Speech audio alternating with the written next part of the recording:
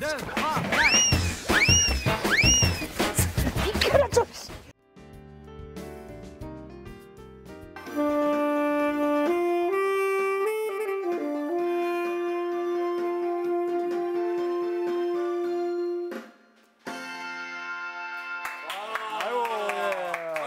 안녕하세요. 예, 어, 어, 색소폰 소리가 너무 좋아서 이렇게 왔는데 아, 간단하게 본인 소개 좀 부탁드리겠습니다. 아, 저는 이제 마을 이장을 맡고 있고요. 네.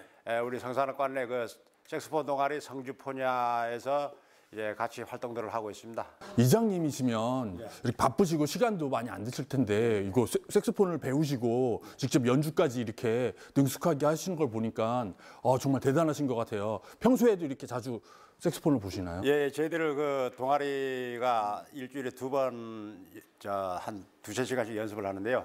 이 악기를 통해서 에, 그 문화 활동에 조금 소외되신 그 어르신들을 위해서 이제 우리가 할 수 있는 게 에, 음악을 통한 봉사다 해서 이제 결정이 돼서 경로 잔치나 마을 단위 행사에 저희들이 무료 봉사로 이렇게 지역을 위해서 하고 있습니다. 아, 그럼 색소폰을 부신 지는 한 어느 정도 되셨는지? 어, 저희들이 2010년도에 동아리를 결성을 해서 그때부터 이제 독학으로 이제 지금까지 한 10년 동안 이제 해왔습니다. 차라리 노래 한 곡씩 연습을 하자 해서 이제 한 곡 한 곡한게 이제 조금 익숙, 익숙하니까 예, 이제는 이제 사람들 앞에 나서서 봉사도 할 수 있게 됐고 아, 그러면 일년에한 열번씩이나 이렇게 공연을 다니시면 아, 저보다 많이 다니시네요. 아이고 예 고맙습니다. 이장님 연주를 제가 딱 들으니까 그 색소폰 연주 안에서 인생의 굴곡이 느껴지면서 와 약간 구슬프기도 하면서 여기에 혼을 담아서 연주를 하는 게 아닌가 하는 생각이 들거든요. 아이고 예 고맙습니다. 네, 예. 그래서 우리 어, 이장님의 인생을 가지고 저희가 한번 다큐멘터리를 한번 만들어 보면 어떨까요? 음, 어떤 다큐멘터리요? 재밌는 다큐멘터리. 예 괜찮습니다. 예, 예. 자, 그럼 잠시 후에 만나요.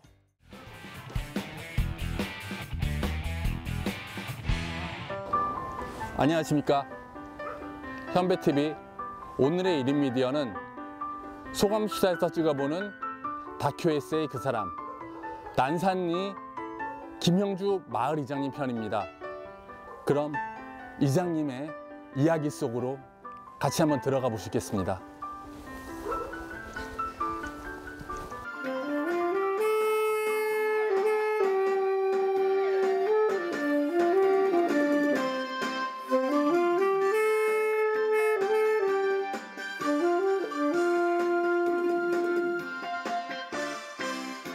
제가 살 때도 집사람 동의가 뭐 해주니까 저것도 샀지만은 적은 비용들이 아니기 때문에 저희들도 이제 장비를 구입하면서 많은 고민들을 했었고 저 처음에는 진짜 우리 집사람조차도 미친 사람 취급을 했으니까.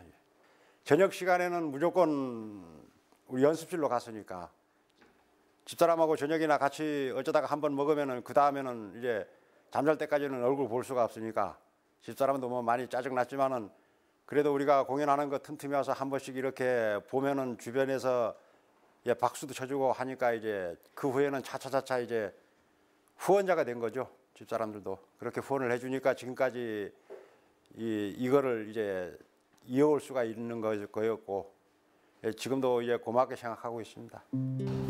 가족의 반대 쉽지 않죠. 저 역시 맨 처음 힙합 랩 한다고 했을 때 저희 가족들도 무척 반대했었거든요. 근데 같은 음악 하는 사람으로서 어, 충분히 공감할 수 있는 부분이긴 합니다. 그때 노래 한 곡을 미처 다 하지 마스터하지 못한 상태에서 온평이 혼인지 축제라고 있습니다. 거기에서 이제 저하고 다른 한 사람만 노래를 한 곡을 겨우 이제 하고 무대에 올라갔는데 그 두 사람이 무대에 올라가서 첫 연주를 하는데 진짜 눈앞이 캄캄했고 어떻게 어떻게 이제 한 곡을 끝내고 내려와서 그 다음부터는 더욱더 분발하는 그런 계기가 되었죠. 상당히 좀 화났죠. 이 자기 자신한테 많이 화도 났고 지금까지 살아가면서 그런 거 하나 해내지 못하는 그런 자괴감도 있었고 그렇기 때문에 더욱더 이제 연습을 하게 된 거죠. 첫 공연 아 그 맛을 정말 지금도 잊을 수가 없습니다. 다음에도 또 이런 무대에 서고 싶다. 다음에는 좀 더 잘하고 싶다. 정말 저에게도 아주 큰 계기가 됐었던 그런 첫 무대였던 것 같습니다. 그렇다면 이장님은 또 어떤 이야기를 들려주실지 같이 만나러 가시죠. 어쨌든 이 악기를 통해서 이 여러 사람한테 즐거움을 줄 수 있고 또한 감동을 줄 수 있는 그런 악기를 연주한다는 데서 많이 그 자부심도 느끼고 저희 멤버들이 같이들 이제 열심히 연습을 하고 그렇습니다. 색스폰은 나의 삶이다. 에, 끝까지 저희 생업을 제외한 나머지 시간에는 에, 색스폰하고 같이 끝까지 가야 될 그런 나의 삶이기 때문입니다. 색스폰이 삶이라는 이장님, 삶은 계란이죠. 이장님께서 색소폰으로 한음 한음 불어내실 때 그 한음 한음마다 인생이 담겨 있는 게 아닌가 하는 저의 생각입니다.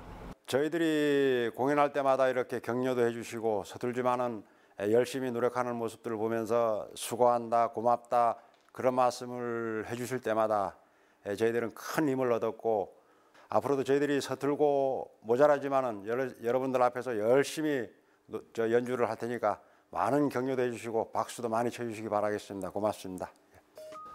색소폰을 통해서 행복을 찾고 마을 분들에게 색소폰으로 행복을 불어주시는 이장님 그 따뜻한 마음이 느껴지는 시간이었습니다. 앞으로도 이장님의 행복한 연주를 기원하면서 오늘 이 시간 마치겠습니다.